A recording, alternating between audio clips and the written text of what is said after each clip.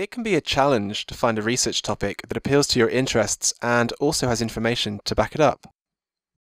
Even when you pick a topic that would seem like it should have plenty written about it. Cat memes are a way that people joke about human personality traits and emotions. When you search for information on it, you may not find a whole lot.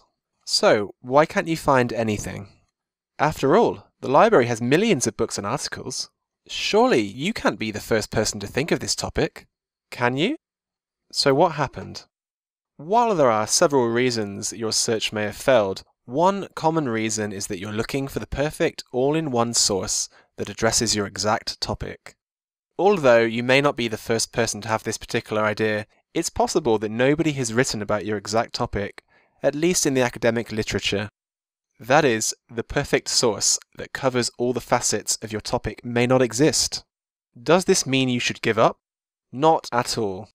Let's look at your topic again and break it into subtopics. Cat memes are a way that people joke about human personality traits and emotions. If you were to search for all these ideas simultaneously in one of the library's article databases, you wouldn't find anything. But if you search for articles on any of these subtopics individually, or for two of them together, you'll find quite a bit of information.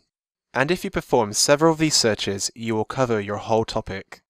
Incidentally, while you're searching, you'll probably need to experiment with synonyms and related terms to optimize your search results. You'll also probably discover that you'll need to use a variety of source types, some scholarly and some not, to make a complete argument. It really depends on your topic.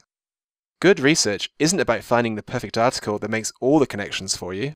It's about finding information that helps you form your ideas and tying it together yourself to make a cohesive argument. If you have any questions about finding research to support your thesis, ask a librarian for help.